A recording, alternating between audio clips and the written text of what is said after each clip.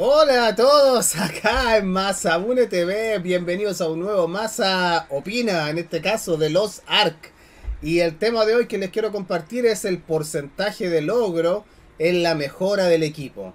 Todos hemos experimentado el porcentaje de logro que va bajando a medida que va subiendo de nivel nuestra pieza de armadura o nuestra arma.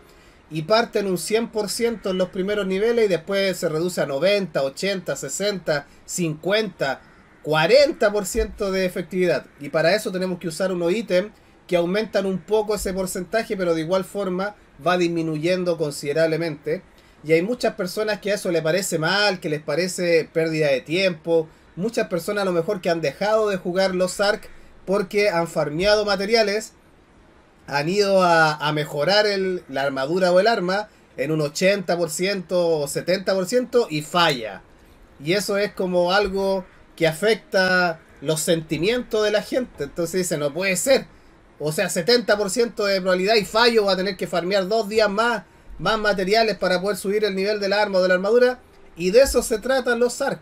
De esa forma el juego mantiene, entre comillas, a raya a los jugadores para que no se escapen de manera infinita, eh, sobre todo en los tiers superiores. En tier 3 la cosa se pone color de hormiga, compañeros. Pero antes les quiero mostrar en qué nivel voy yo en estos momentos.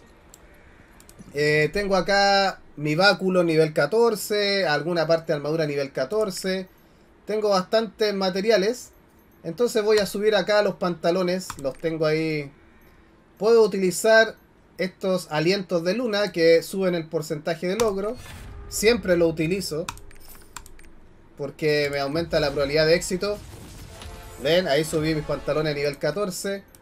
Acá tengo otro, pero me faltan piedritas de guardián, así que no puedo seguir subiendo. Es triste, pero así es la realidad. Nuestro báculo, podemos también mejorarlo. Lo tengo que llevar a nivel 15.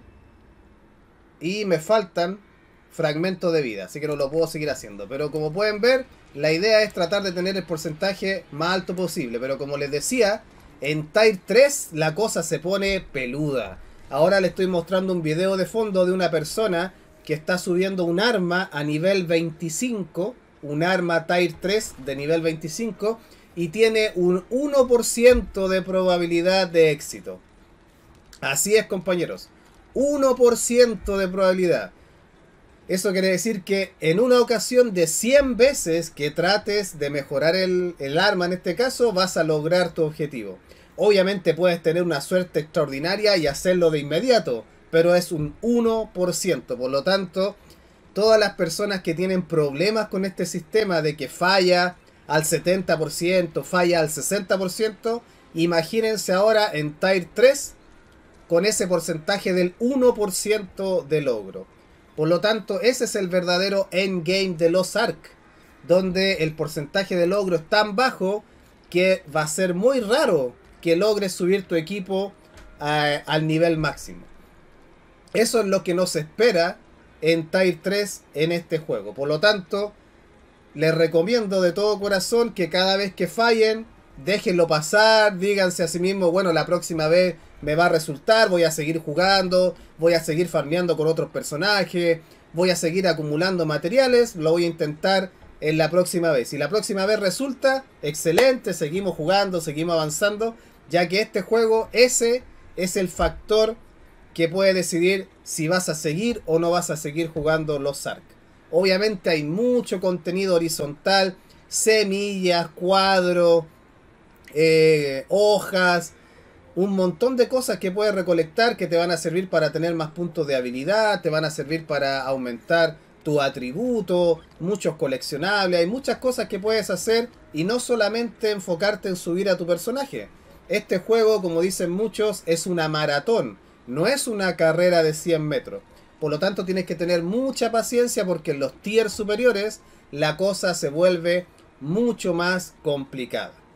Eso era lo que le quería compartir con ustedes, compañeros. Los porcentajes de logro o de éxito en la mejora de armadura y armas en tiers superiores es muy bajo y de eso se trata el endgame de los ARC a final de cuentas. En Corea todavía están en Tier 3 por lo tanto, nos queda mucho tiempo. A lo mejor vamos a estar un año, un año y medio en Tier 3 farmeando para tratar de llevar nuestra armadura al máximo y luego vamos a pasar al siguiente Tier donde va a empezar todo el proceso nuevamente.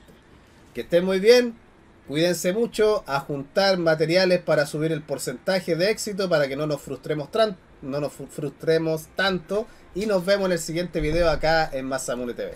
Bye bye, adiós adiós, que estén bien.